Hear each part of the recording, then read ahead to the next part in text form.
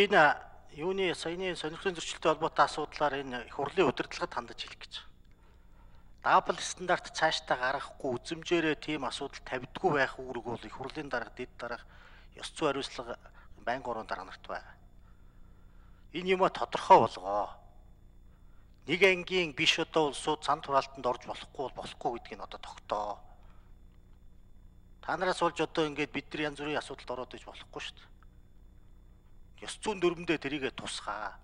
Даюур сайхан гишүүн бол өнгөрсөн жил төрийн бас байгууллагын асуудлаар их хурлын гишүүд хавсарч ажиллаж болох тухай тогтоолноос л оруулж ирээл солигийн зөвчлийн үе таалгыг өөрөө нээж ирсэн. Бүлгийн урал дээр хэлж илвэсэн. Тэгэхээр ийм дабл стандартыг тогтоож болохгүй. Одоо жишээлбэл нэг ангийн биш ирнэл ингээд цоллогдож байгаа. Гэтэ би энэ процессоо бол зөв гэж бодож байгаа. Одооний болж байгаа процесс бол цаашдаа юм асуудлууд гаргаад иж болохгүй энэ шүүхэргийн зөвлөлийн томилгоонд орохгүй байхгүй юу гэдгийг одоо өөрөө шийдгэж болохгүй шүү дээ. Тэгээд болохгүйгүй би одоо жишээлбэл оролцохгүй. Ягаад гэвэл энэ шүүхийн хуулийн хэрэгжилтийн хэсгийг ахлах жоохгүй. Сүүлийн хэдэн өдөр хэдэн сар энд процесс санаа зовж байна. Энийг ихтгэл төрүүлээсэй гэж. Тэгэхээр чин тэнд яг тэрийг зүтгэж яваа хүнтэй нь холбогдуулаад нэг тийм хардлах сэрдэгтэй юм ороо явчихор. Одоо яаж ийм үхэр зэрэг бас тэгэл зүгээр гэл өөрөө хэлсэн ч гэсэн тэрэнд ч оролцох муухай л байхгүй.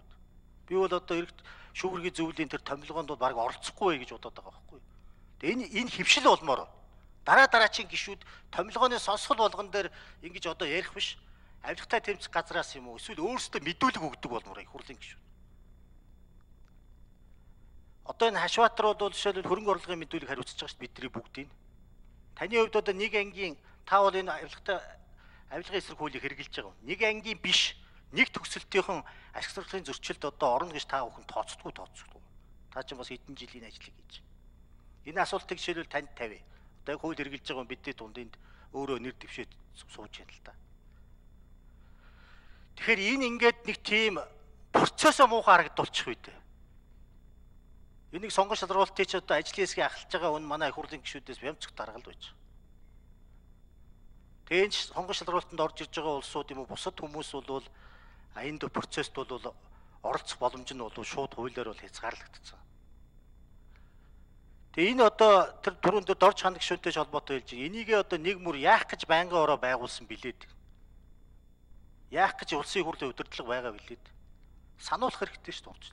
Гишүүд өөрсдөө мэднэ хичээл нэг тийм араас нь аа тэгэл сонирхсан зөрчилтэй жоохот хуулийн цэрлэл мөрлөл.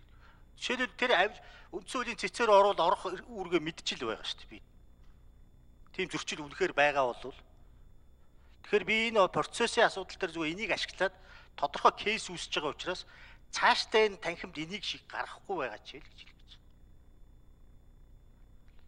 Энэ орж ирж байгаа нэр дэвшигчдийн хувьд бол сахилгын ороонд орж иж байгаа улсууд бол процессын хувьд сая өнгөрсөн хугацаанд нэлээд одоо яригадад орж ирж байгаа. Ер нь бол нам мамтай холбоотой биш нэг тийм нийгмийн дундаж хэсгээс улсууд л орж ирж байгаа. Би энэ ч хамтын удирдлагатай байгуулах зөв гэж харж байгаа эрх баригч хүчин ч гэсэн өөрийнхөө эрх мэдлүүдийг төрд орчоод олон эрх мэдлээ шилжүүлж байгааг нэг жишээ бол энэ томилгооноос сонсгол. Иргэдэд өөрсдөд нь дэвшүүлэх эрхийг өгсөн. Ажлын хэсэгтээ хөндлөнгийн ажлын хэсэгт эрх мэдлээ өгсөн. Тэгээ гişүүд бас өөрсдөө олнохоор асуудлыг шийдэх эрхийг өгсөн. Урд нь 100% нэг этгээд нэг өдөр хэдэж хэлэхгүй хэдэж хуваалцахгүй шийдчихдэг байсан. Их хурлын гişүүд ёсчлон биелүүлэх үргийг л үндсэндээ гүйцэтгэж ирсэн. Энийг задлж байгаа байхгүй. Итгэлцэл хамгийн чухал итгэл алдуулах юм байна. Жохон ч гэсэн алхмууд хийж байгаа бол энийг болиулах хэрэгтэй. Тийм байдал байгаа бол болох хэрэгтэй. За Сүхбаатар гүшүүн оролдохгүй шүү.